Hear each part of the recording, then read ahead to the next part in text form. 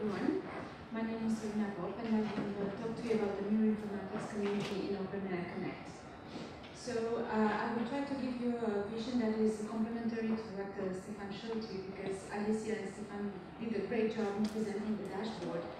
So um, I will present to you the, the community and some complementary tools. So within the OpenAIRE Connect uh, project, the neuroinformatics community is represented by members of the France Life Imaging uh, collaboration, and we focus on e-infrastructure services to enable interoperability between in vivo image acquisition platforms at national and international level, such as EGI.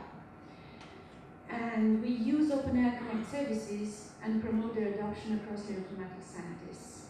Uh, in with the aim of generating and sharing packages of research artifacts. So that's the global presentation.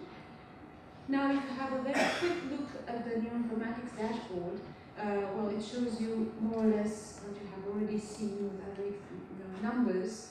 Uh, you have the number of publications, research data, software, projects, content providers. And um, the three uh, managers of the community, who are uh, Camille Maumet, Christian Barillot, and myself, and I have to tell you that I'm not really a neuroinformatics person myself. I'm um, more on the services side, but I'm in charge of a platform that serves the neuroinformatics community, so that's why I'm, that's why I'm here. But Camille and Christian are much more in neuroinformatics so, um, the dashboard, um, I don't know if I, I can say that's the top of the iceberg, but the dashboard is somewhere here, okay?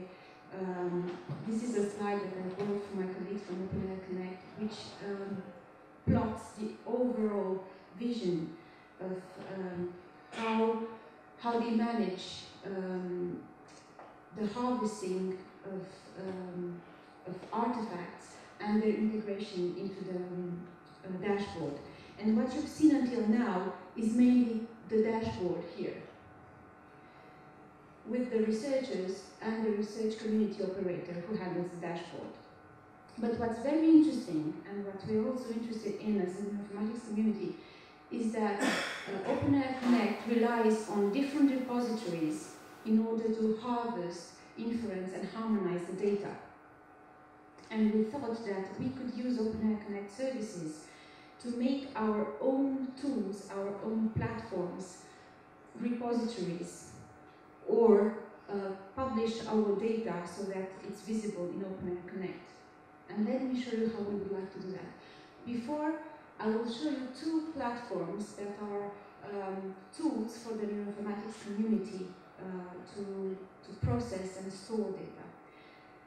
Chat Noir or Black Cat in English, is an open source web platform for neuroimaging. It allows researchers to store uh, neuroinformatics data um, and visualize it online and do some other things like um, uh, support for clinical and neurophysical uh, scores, uh, user access control, and so on. So this is a tool for researchers in neuroinformatics. And it manages lots of data. So it would be very nice if we could, if we could somehow interface this tool with uh, the OpenAIRE Service Connect, with OpenAIRE Connect services. I will manage it. A second example is the virtual imaging platform that I'm in charge of. This is a processing platform. And basically what we do is that we take uh, software that researchers uh, need to use in order to analyze and process their data um, such as uh, FreeSurfer for uh, neuroimaging. And we integrate it in, in VIP as a service, and then uh, researchers only have to click on the, uh, the right icon give the right inputs, and then execute application. So it works quite well. We have more than 1,000 registered users, and we use distributed resource, resources from EGI. Um, but once again, it would be nice if the software, the application uh, used in this platform could be made available in OpenAIRE Connect. So, uh, in order to do that, um, we want to be able to describe um, our software, our applications in a standard way, and uh, a way that is the same across platforms. And this is why we use Boutique. Boutique is a very simple thing um, is, a, is a descriptor, versatile JSON format to describe command line applications that relies on the use of Linux containers to facilitate um, application installation. And Boutique comes with a number of tools, among which something which is very useful to us, which is bosh Publish, which allows us to publish the descriptor to the Zenodo. And here you have uh, just a few examples that have been recently published to, to Zenodo. Um, these are neuroinformatics software descriptors published to Zenodo with. And now that we have all that, how do we link all this together?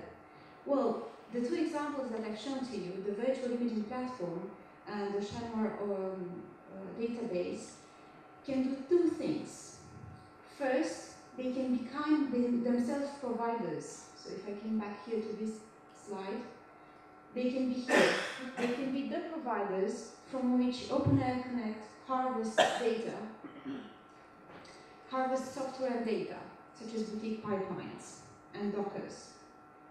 And the second thing that these platforms can do is that they can upload such products to Zenodo and in exchange get a DOI and this is quite easy to do if we go through boutiques, because boutiques already allows us to, to publish things to Zenodo. And by doing do these two things, I do believe that we will enable interoperability and reproducibility. Because basically, uh, other platforms and other users may reuse the software and the data to, to, to reproduce the results. So if I conclude, um, our our aim in, in the neuroinformatics community is first through the dashboard to gather and search for all kinds of research artifacts from the neuroinformatics community. And I insist on all kinds of research, literature, data sets, and software. They are all important. And the, the, the nice um, uh, facilities that Stefan told about, about linking and statistics and so on, are of course very important to us too. So linking datasets and softwares and, and the other uh, statistics.